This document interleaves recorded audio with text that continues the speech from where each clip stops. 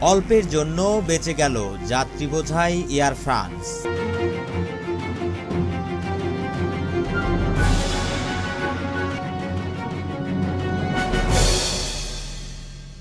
বিমানবন্দরের রানওয়েতে নামার সময় হঠাৎ প্রচণ্ড দমকা হাওয়ায় যাত্রী বোঝাই এয়ার ফ্রান্সের একটি ফ্লাইটের সামনের অংশ ঘুরে যায়।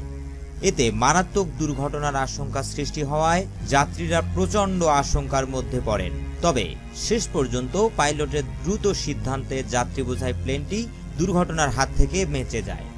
ঘটনাটি ঘটেছে যুক্তরাজ্যের বার্মিংহাম বিমানবন্দরে। অবতরণের সময় চুয়াল্লিশ মাইল গতিবেগের বাতাসের ধাক্কায় প্লেনের নাকটি ঘুরে যায়। এ ঘটনার সময় pilot Airbus A three hundred nineteen মডেলের প্লেনটিকে আর অবতরণ করাননি। তার বদলে দ্রুত সিদ্ধান্ত নিয়ে তিনি আবার আকাশে উড়িয়ে নেন। অনেকেই প্লেনের পাইলটের দক্ষতার প্রশংসা করেছেন। দ্রুত সিদ্ধান্ত নিয়ে প্লেনটি আবার আকাশে উঠিয়ে নেওয়ায় যাত্রীদের জীবন রক্ষা পেয়েছে বলে মন্তব্য করেছেন অনেকে। ঘটনাটির ভিডিও করেছিলেন জেরেমি জোন্স নামে এক ব্যক্তি। গত বুধবার সে ঘটনাটি ঘটেছিল। এই ঘটনার ভিডিওটি এখন অনলাইনে বেশ ভাইরাল হয়ে উঠেছে।